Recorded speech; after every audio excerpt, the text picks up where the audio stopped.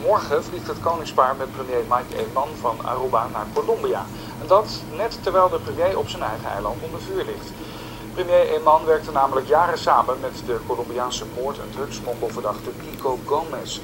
De oppositie op Aruba eist dat Eman eerst uitlegt hoe het zit tussen hem en de drugsgouverneur voordat hij met het koningspaar op reis gaat. Maar tot nu toe weigert de Arubaanse premier elk commentaar.